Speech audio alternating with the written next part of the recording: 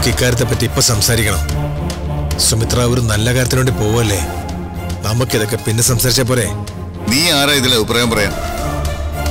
എന്റെ കുടുംബത്തിന്റെ സ്വത്ത് കാര്യങ്ങൾ ഇടപെട്ട് സംസാരിക്കാൻ നീ ആരാ? ഈ വീടിന്റെ ഉടമസ്ഥാവകാശം ഈ ഇരിക്കുന്ന ആളിന്റെ ഭാര്യയുടെ പേരിലായിരിക്കുമ്പോ ഈ മനുഷ്യന് സംസാരിക്കാൻ അവകാശം ഇല്ലേ ഇതിലിടപെട്ട് സംസാരിക്കാൻ ഈ മനുഷ്യൻ ആരാണെന്ന് നിങ്ങൾക്കിപ്പോ മനസ്സിലായോ? എടോ ഇനി ഇവിടെ ഒരു പ്രശ്നം ഉണ്ടാവില്ല. താൻ ധൈര്യമായിട്ട് പോയിട്ടോ സിദ്ധു ഉണ്ടാക്കുന്ന പ്രശ്നങ്ങളൊന്നും ഇവിടെ പുതിയ കാര്യമല്ലല്ലോ. താൻ അതിനെ അങ്ങനെ കണ്ടാൽ മതി.